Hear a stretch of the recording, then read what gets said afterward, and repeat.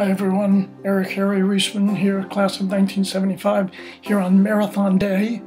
I'm reporting in from Baltimore, Maryland.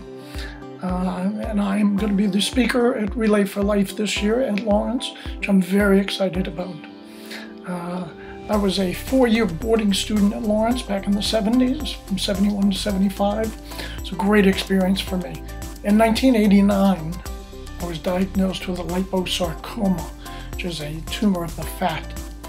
Um, I had two surgeries. One, the first one was because they thought it was benign growth. The second surgery was um, to get the tumor. And then I had seven weeks of radiation.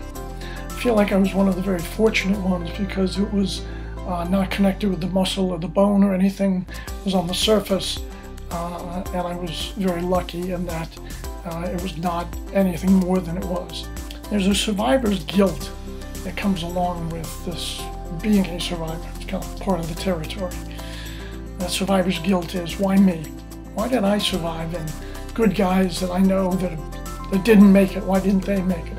What makes me any better than Tom Warner, classmate of mine in class of 75 who died of a brain tumor?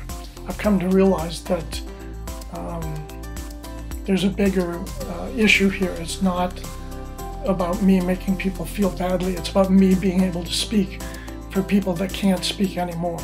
It's about me being able to tell people the lessons that I have learned and say, hey, life is short, life is precious, don't waste it.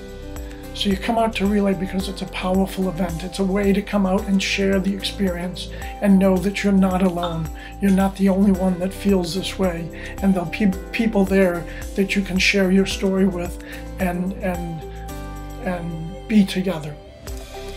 So come out to Relay and help us finish the fight.